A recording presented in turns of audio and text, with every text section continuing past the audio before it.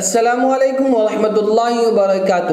الحمدللہ وحدہ والصلاة والسلام علی من نبی عبادہ اما بعد، محترم ناظرین، ہمارے یوٹیوب چینل روحانی عمل میں میں سید اظہر الدین حسینی آپ تمام کا خیر مقدم کرتا ہوں۔ اگر آپ کے گھر میں برکت نہیں، مثلا آپ کے گھر میں کم افراد ہونے کے باوجود بھی آٹا، تیل، مسالہ اور چاول بہت زیادہ استعمال ہوتے ہیں یعنی آپ کے گھر میں برکت نہیں، تو آپ اس عمل کو کریں۔ انشاءاللہ اللہ العزیز آپ کے گھر میں برکت ہی برکت نظر آئیں گے سب سے پہلے تو آپ نمازوں کا اہتمام کریں اور روز آنا کم از کم ایک، دو، پانچ روپے صدقہ اور خیرات کریں۔